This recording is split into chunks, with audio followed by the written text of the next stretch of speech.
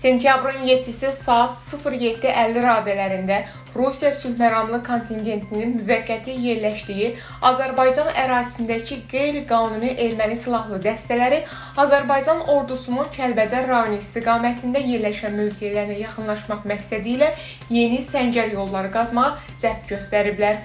Unikal xəbər verir ki, bu barədə Müdafiə Nazirliyi məlumat yayıb. Bildirilib ki, ordumuzun bölmələri tərəfindən görülən təxirəsalınmaz tədbirlərin nəticəsində aparılan işlər dərhal dayandırılıb.